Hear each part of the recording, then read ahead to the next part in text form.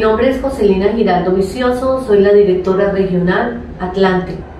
A continuación, me permito dar a conocer los resultados obtenidos por la Regional Atlántico durante el año 2021.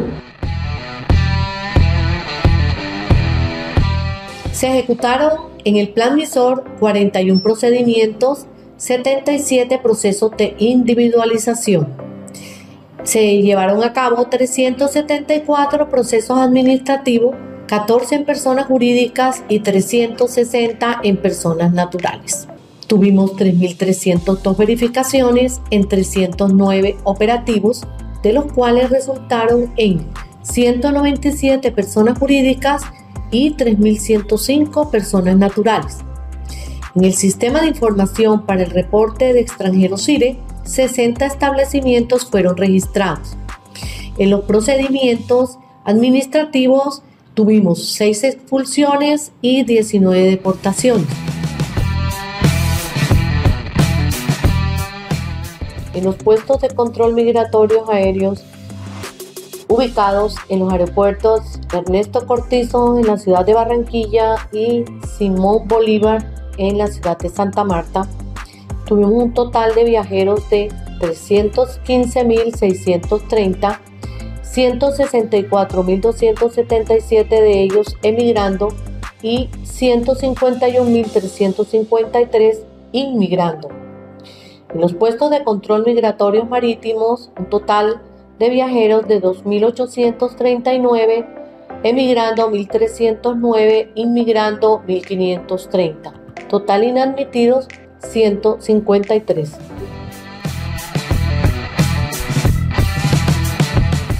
2.533 salvoconductos, 2.361 cédulas de extranjería, 1.576 certificados de movimientos migratorios, 1.387 prórrogas de permanencia, 45 certificados de movimientos migratorios y nacionalidad, para un total de trámites de 6.759 y un total recaudado de 786 millones 22.767 pesos.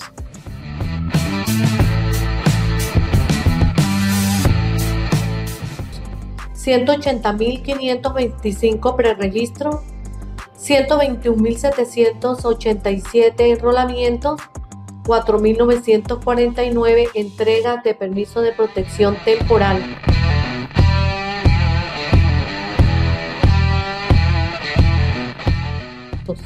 Proyectos de inversión FONSET y FONSECON. En cuanto a patrullas migratorias, tenemos aprobado por FONSET Alcaldía de Soledad y en proceso de estudios previos por 200 millones de pesos. Aprobado por FONSECON en la Alcaldía de Ciénaga y en proceso de licitación por 400 millones de pesos. En cuanto al combustible, donación de la Alcaldía Distrital de Barranquilla por 30 millones de pesos y donación de la Alcaldía Distrital de Santa Marta 20 millones de pesos y de Ciénaga 15 millones de pesos mediante el FONSET. Elemento de protección personal, donación Gobernación del Atlántico por valor de 4.485 mil pesos mediante el FONSET. Mantenimiento Parque Automotor ejecutado Alcaldía Distrital de Santa Marta 20 millones de pesos mediante el FONSET.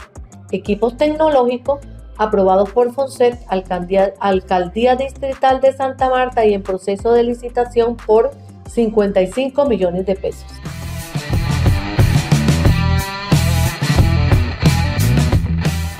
se ha dado cumplimiento a los lineamientos definidos por el protocolo de bioseguridad de la entidad, sedes con la debida señalización de medidas adoptadas.